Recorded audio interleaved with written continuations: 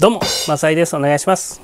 さあ、早速行きましょう。今回のテーマ、こちら。2023年インカレサッカー20出身数ランキングさあ、えー現在開催されております。2023年、全日本大学サッカー選手権大会、えー通称インカレですね。そのインカレ出場24大学の登録選手の20出身数、えー高校時代ですね、の出身チームを調べ、え多い順にランキングしてみました。さあ、やはりね、全国大会に出てるチームなので、強豪高校、えクラブユースが多いのか、えそこら辺も見ていきたいなと思います。さあ、それでは、7人以上輩出チームが、えー29ありました。ということでね、え一気にじゃあ11位まで見ていきましょう。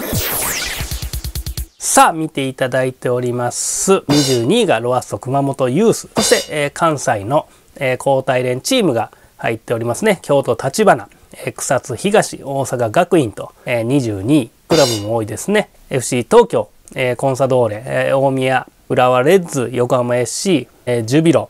そしてエスパルス、えーグランパスと。えーもうこのね、えー上位に入っててもおかしくないという、えーチームが10位以内には入れませんでした。そして交代連でも、えー現在ねプレミアリーグ所属チームがランキングに入っております、えー琉球大柏。神村学園そして大津高校というね、えー強豪高校もベスト10には、えー届かずというところでした。さあそれでは一気に3位まで見ていきましょう。こうなっております。どうぞ。さあ見ていただいております。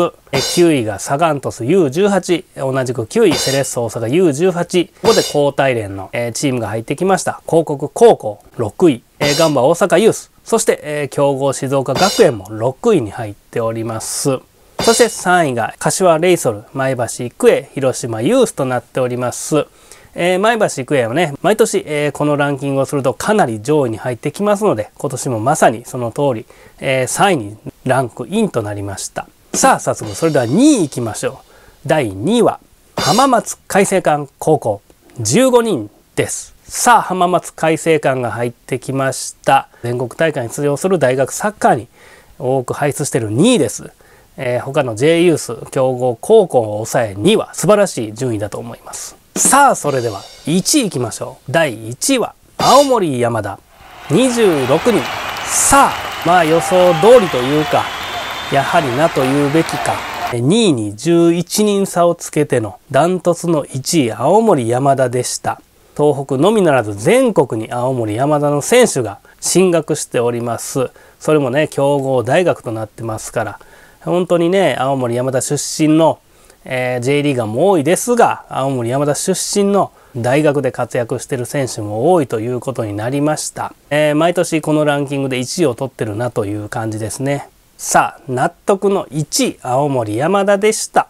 ダントツです。近年ね大学サッカーから、え J リーグに入りそして海外に行きワールドカップ選手になるというね、え非常に大学サッカーこれからもね注目していきたいなと思います。さあ今回は以上となります。インカレサッカー現在ね開催中です。今年はどこが優勝するのかそしてどういう選手が、え出てくるのか、えそこら辺もね、え楽しみ見ていきたいなと思います。それではまた。